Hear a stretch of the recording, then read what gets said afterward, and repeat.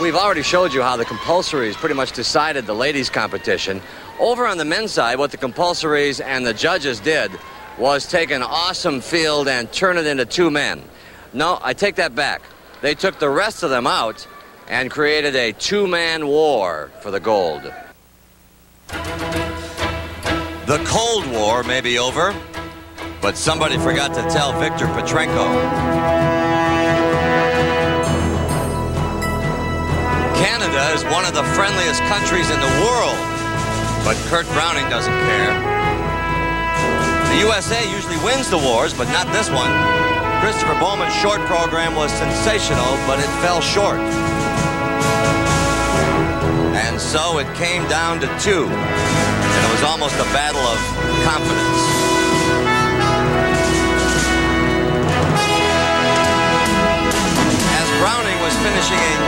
Perfect short program,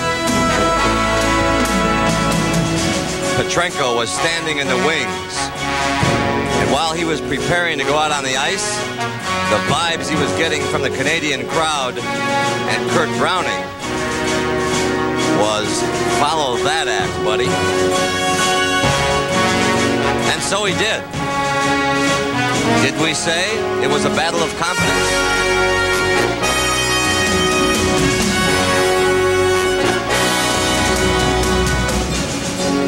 Let's go back a moment. A year ago, Petrenko was so favored, it was like throwing caution to the wind.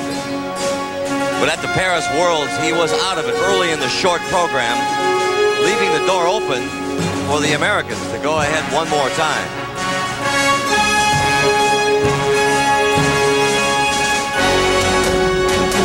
And after a surprising show of brilliance from Browning, Petrenko didn't even show. A year ago, when we visited Viktor in his hometown of Odessa on the Black Sea in the Soviet Union, we discovered that he was quite the rebel. One thing, he trains far away from the mecca of skating, Moscow. Here in Odessa, he's a rebel with a cause.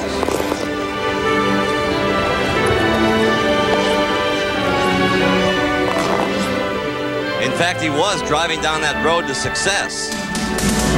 But the hammer and sickle was taken out by a maple leaf.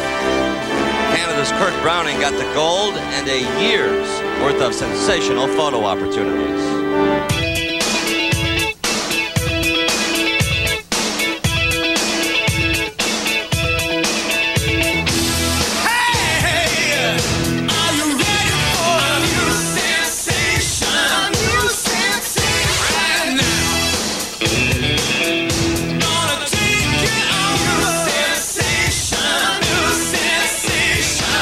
Yeah, it's been uh, it's been a roller coaster.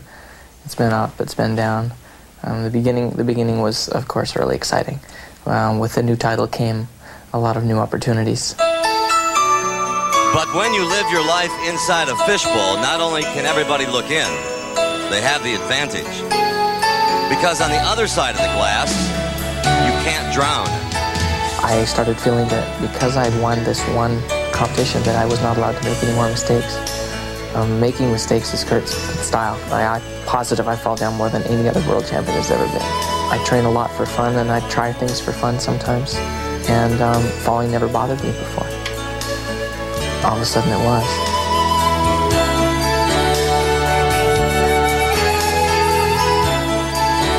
In fact, the world champion took a world-class fall. And coming into this world, he'd gone from first to third. Suddenly, he was not only losing the battles, but the entire war. Now the Russians think that they can win. Now the Americans think that they can win.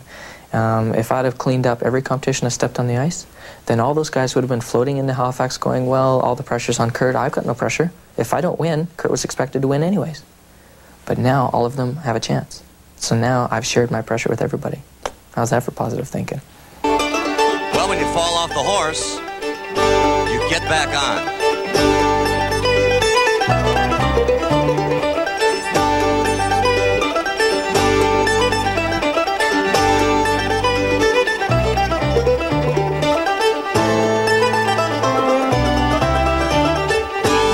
Track and I have a really good chance of skating good in Halifax. And I don't think that this whole thing is worth it. It's not worth losing your own identity. It's not worth stressing yourself out over because that's not what gets productivity. So I'm going to go into Halifax happy, and I bet you I'm going to skate great. Kurt Browning has already had a terrific performance this week in both the compulsory figures and the original program. But if he's to win, he must outskate Viktor Petrenko of the Soviet Union. Petrenko, Browning, and Bowman. They're next. Competitor representing the Soviet Union, the Union Soviet From Odessa in the Soviet Union. Currently in first place after a superb original program. 20-year-old Viktor Petrenko.